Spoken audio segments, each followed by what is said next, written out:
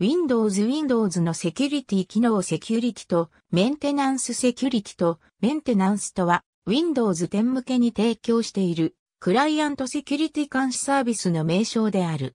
Windows XP サービスパック2以降及び Windows Vista では Windows Security Center、Windows 7では Windows Action Center と呼ばれていた。機能としては、ファイアウォール機能、ウイルス対策ソフト、自動更新機能の合計3つのカテゴリーを監視するもので今日のインターネットにおけるセキュリティ問題に対応するために Windows XP サービスパック2の公開とともに提供している。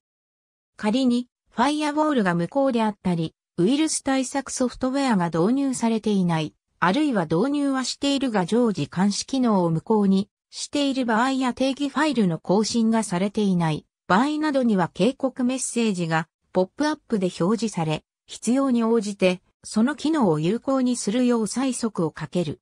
Windows 7では Windows Defender が統合された。